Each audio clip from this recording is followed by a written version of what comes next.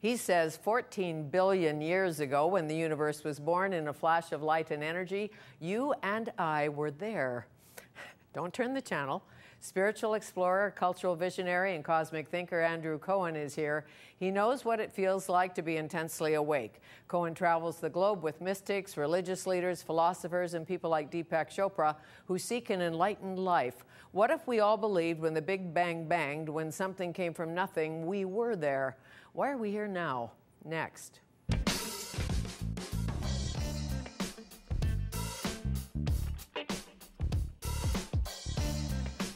It's good to be with you today and with internationally renowned spiritual investigator and enlightened revolutionary Andrew Cohen. He is passionately committed to helping us make a leap in consciousness in the modern world. It is a leap he calls evolutionary enlightenment, a new path to spiritual awakening in the 21st century. Cohen was born in New York. He is founder of the global nonprofit EnlightenNext. His first book was My Master is Myself. His new one, with foreword by Deepak Chopra, is Evolutionary Enlightenment. In it, he says, There has never been a better time to be enlightened. Really? Hello. Welcome. Thank you very much. It's good to be here. Never been a better time. Why now is a good time to be enlightened? Well, it was uh, Deepak actually, after he read the book, is the one that said it, there's uh, never been a better time to be enlightened. And uh, I think it's because uh, what, I'm, what I'm doing in my book and with my, with my work is I'm, is I'm putting the, the traditional Eastern notion of enlightenment, which is the experience of consciousness beyond the ego or the small self, within the context of science's discovery of evolution, that we're all part of a 14 billion year developmental process that had a beginning in time uh, that made, you know, that's making this conversation possible. So if we believe 14 billion years ago we were there, not formed yet, but we were there. Yes. How does that change us today? Uh, well, how it changes us is, uh, is when we awaken to what's called an evolutionary worldview, our sense of self begins to expand because we, we begin to see the human experience we're having in the present moment in, in the context of cosmic history. We begin to see that we were actually born, right? This whole process was born when the universe was created. And so our, our sense of identity expand, expands to begin to include the whole universe and the entire history of the development of the universe. And this, this, this gives us a very, uh, a very deep and profound sense of what it means to be a human being right now. Take me back to your. Um mystical beginnings, if I can call them that. Sure. Uh, uh, Andrew Cohen, 16 years old, yes. thinks he's going to be a musician, or yes. is a musician. Aspiring. I was aspiring to be a, a drummer, a jazz drummer, and I was, uh, I was born up, brought up in a secular Jewish family, so I had no religious education whatsoever. Um, and I was living in Rome, Italy with my, my mother, and we were sitting up late one night having a conversation, and for no particular reason, the doors of perception opened, and I had what's called an experience of cosmic consciousness. Uh, and w- what happened was um, the, the, walls, the, the, walls of the room we were sitting in metaphorically disappeared, and I, uh, I, I, experienced an expansion of consciousness. I experienced uh, no boundaries, a sense of beginninglessness and endlessness. This beginninglessness and endlessness uh, uh, had a presence, had a, a consciousness, had a sense of intelligence, and its nature was the experience of a kind of love that was so overwhelming, it, it was physically devastating. I felt if it does, this does not stop, I feel I'm going to be crushed. I might die. So, you didn't die. No, well, I didn't die, but what happened uh, in that moment is I realized that there is, there is more to life and more to reality mm. than I had previously understood, and that, there, and that uh, at, at, the deepest, deepest depths, of our, of our consciousness is a potential to experience the, what's called the infinite. Okay, and have you figured out why some people are in constant search of the infinite, of the answers, and others, eh, not interested? Well, I, th- I think that you know some people are more thoughtful and, and, and sensitive and, and uh, more, more in touch with the existential realities of life mm-hmm. than other people. What liberates the human spirit? I, well, I believe what liberates us is the uh, awakening to and the discovery of a deep and profound sense of, of meaning and purpose. Mm-hmm. I'm with you there. Yeah.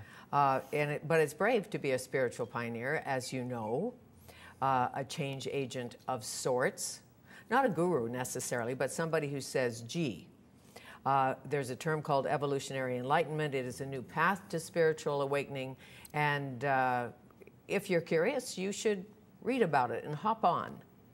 Well, well, what, what people like me do is we try and compel people uh, to, to question things, to think more deeply, to, to ask the big questions. And the, the, the big questions have always been and will always be who am I and why am I here? Mm-hmm. Wh- why does the universe exist? What caused something to come from nothing? Right. And I gather from reading your book, something is coming from nothing every second. Indeed. So, how do we understand that primordial moment when something came from nothing 14 bil- billion years ago? Well, it's a great. If we're not a theoretical physicist. Right. Well, the, well, the, a physicist looks, a, a, physicist and a scientist looks at reality from the outside, and they want to understand how the universe was created. Uh, a philosopher and a mystic wants to know why, mm-hmm. and so a philosopher and a mystic looks looks at tries to look at the process from the inside out. And if you do that, look at the world from the inside out and outside in, but inside out. Mm. Where do you start? Well, we start, we start within our very own experience. If we're going to look at reality from the inside out, we have to stop looking outside of ourselves only and begin to learn how to mm-hmm. peer within and penetrate the depths of our own interiors. Well, when I think about life often, it's about my own life. And I'm sure when you think about life, it's about your life. It's not well, about everybody else's well, life. No, well, not only, not only, because when we, when we begin to look uh, very deep inside ourselves, we begin mm-hmm. to become aware of the fact that who we are and what we are and how we are it has been produced by and is part of a process that had a beginning in time 14 billion years ago.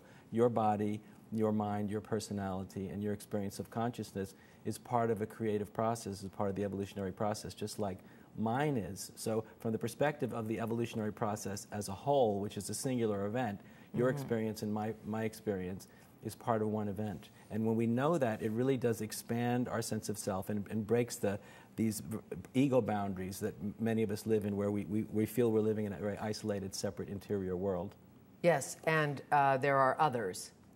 Everybody as an other, rather, rather than part of us. I know that sounds a bit esoteric. Well, no. Well, there are other people in the world, but, mm-hmm. but, but we begin to identify not only with other people, we begin to identify with all of humanity, all of life. And finally, we begin to identify with the evolutionary process as a whole, with the entire universe, with the, with the process that's in progress right now. And eventually, if it works, we become intensely awake, as you are. And what does that mean? How do you feel when you are intensely awake? Uh, uh, we one feels very much in, in touch with realities. You know, often sensitive people are aware of the fact that they that there's, there's more to know and there's more to be in touch with, there's more to feel, there's more to see, there's more to know, there's more to understand. And so the, the, the, the, reversal is, is a sense of actually being deeply in touch with what it means to be alive, feeling it, knowing it, thinking it, you know, and, mm-hmm. and, and it's also the experience of being more deeply engaged with life. And as, you know, many cynics would say, the world's going to hell in a handbasket. Myrtle. It's just a mess. You know, we've got huge uh, uh, climate change, or some climate change, some agree, some don't. Many issues in the world. We look at what's happening in uh, Gaza today, in Israel, yeah. in the Middle East. Well, I think that we are facing a lot of problems, and you just you, met, you just mentioned you know a number of them.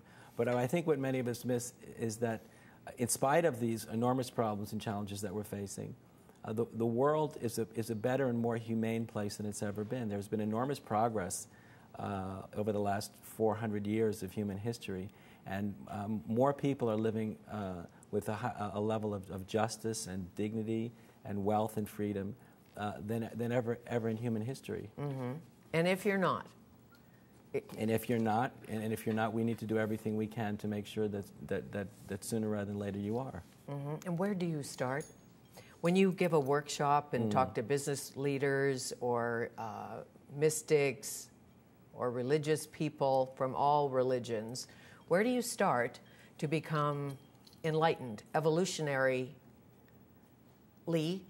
Yeah. Something like that. Well, enlightened. Well, well, I start with making a very bold statement, and I say that all the most renowned mystics from all the great world's wisdom traditions, all the great religions, have told us that the ultimate nature of reality is that there's only one and not two. And there's universal agreement from all the religions and all the wisdom traditions that the ultimate truth about the nature of reality is that there is only one and not two. And so then I ask people, what does that mean?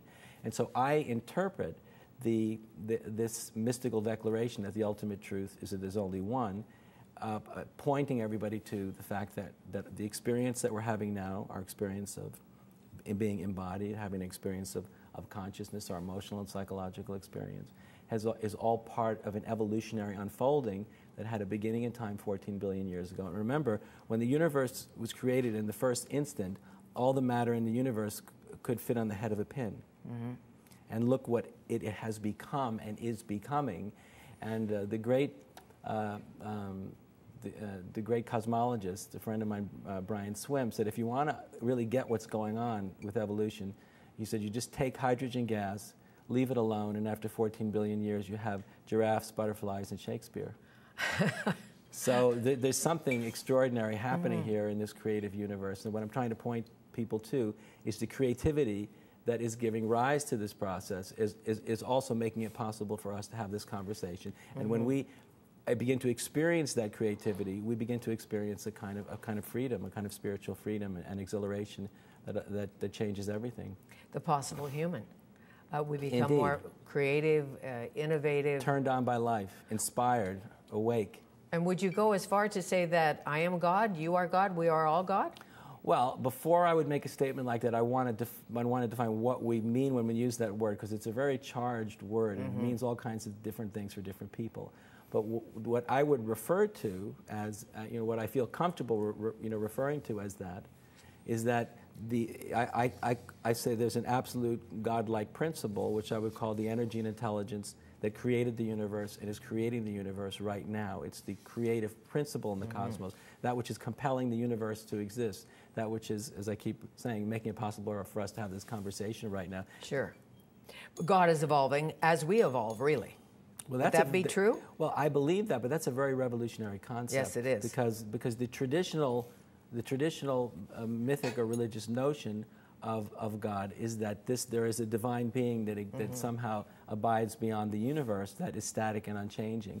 But when we recognize that the entire creative process is the expression of what has traditionally been called God or Spirit. We realize that the creative process as a whole is in a developmental process that's in progress, that's giving rise to higher and higher levels of complexity. And no matter how far you have come, there will always be further to go. And we know how to go there if we just get it. Well, but that, that's also a revolutionary idea because the great traditions, you know, always told us that there's, there's, there's, an, you know, there's an end of the world, there's mm-hmm. going to be an apocalyptic ending or, or, or there's, there, there's, we can come to the end of spiritual development in the East. They call it becoming fully enlightened. Right. But, uh, but when we embrace an evolutionary worldview, we realize we're part, of a, we're part of a process of infinite creativity and infinite becoming. There is no end to development. Okay, and there's not someone out there who knows way more than you do. They might intellectually, uh, they might uh, be better at math or physics, but at our essence, our, what, what you call the authentic self. Yes we're all the same. Or is that not true? Well, we, we all have the potential to be, to be liberated, inspired, very creative individuals if we can just get, you know, get, get over these obstacles that are in our way, a lot of this ne- you know, negative thinking, uh, uh, negative thinking and negative feelings about ourselves. And we can awaken to this and experience directly this primordial c- creativity that gave rise to the universe and mm. giving, is giving rise to it right mm. now we, we can experience a, a, a, a, freedom, a creative freedom, and a spiritual freedom that makes all things possible. Okay. We'll return with spiritual teacher and trekker Andrew Cohen, author of Evolutionary Enlightenment A New Path to Spiritual Awakening.